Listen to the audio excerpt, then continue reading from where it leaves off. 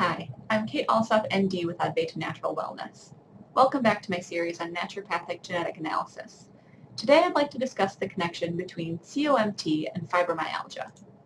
COMT stands for catechol O-methyltransferase, and this is an enzyme responsible for regulating the availability of catecholamines in the body.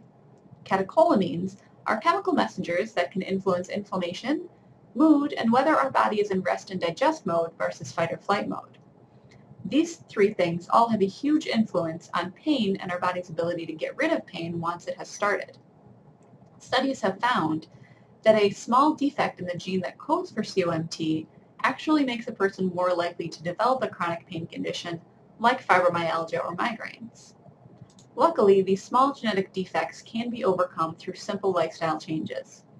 Switching to a whole foods diet that focuses on dark leafy greens or making simple lifestyle changes that limit your toxic environmental exposures can make it easier for COMT to do its job. And when it's easier for COMT to do its job, many sufferers experience long overdue relief.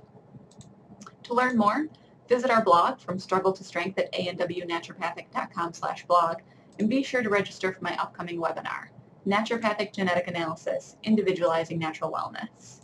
Also be sure to like us on Facebook to see more videos like this pop up in your feed. Thanks for watching.